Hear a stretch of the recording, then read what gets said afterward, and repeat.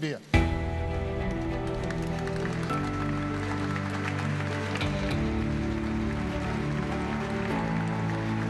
È stato il presidente della Repubblica Sergio Mattarella, unitamente a Milo Dukanovic, presidente del Montenegro, ad inaugurare il primo elettrodotto Italia-Montenegro. Realizzato tra le sottostazioni di Cepagatti e Lastva nel comune di Kotor, è il più lungo collegamento sottomarino in alta tensione mai realizzato da Terna. I lavori per la posa dei cavi dell'opera, avviati tra il 2015 e il 2017, si snodano per 445 km con un investimento totale di circa 1,1 miliardi miliardi di euro. L'impianto in corrente continua consentirà ai due paesi di scambiare elettricità in maniera bidirezionale ed entrerà in funzione entro la fine dell'anno. Questo primo impianto avrà inizialmente una potenza di 600 MW, pronto a raggiungere i 1200 nei prossimi anni quando sarà realizzato il secondo cavo. Sono particolarmente lieto della nostra comune presenza oggi per inaugurare il cavo di interconnessione elettrica tra Cepagatti e l'ASUA che unisce Montenegro e Italia.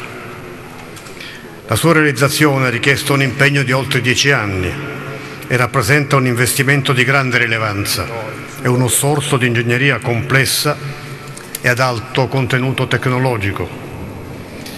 Questa infrastruttura ha un forte valore strategico di livello europeo.